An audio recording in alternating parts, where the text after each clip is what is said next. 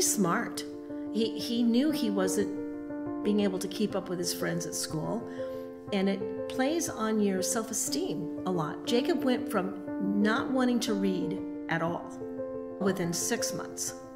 We'd be driving down the street, and he's reading the signs to me. He never even attempted that before.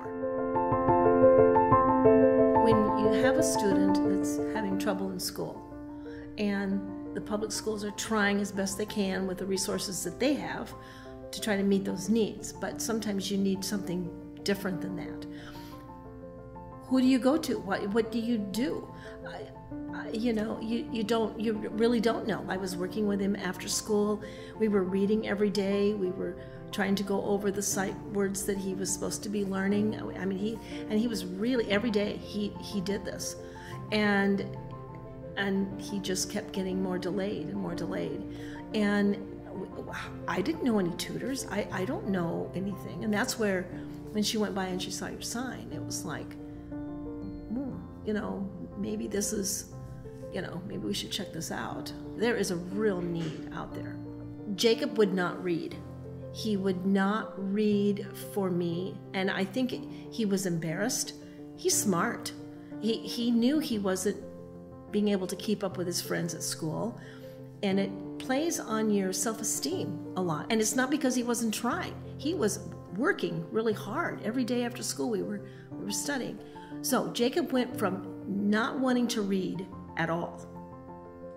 And within, and I can't remember, because you know, it just kind of starts happening, but I would say, I know within six months, we'd be driving down the street and he's been reading, he's reading the signs to me.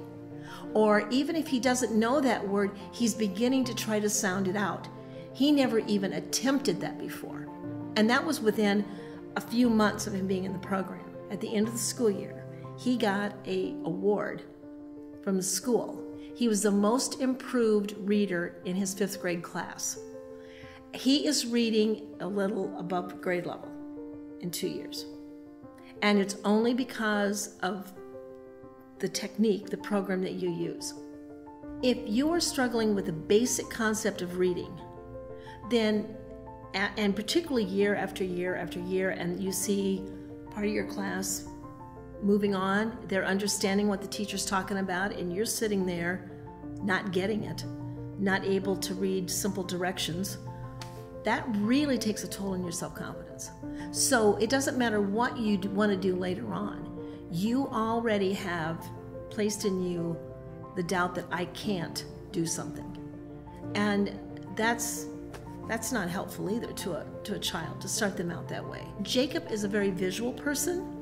So before he could read, he still liked to play video games. So he would try to watch the game and figure it out visually because he couldn't read.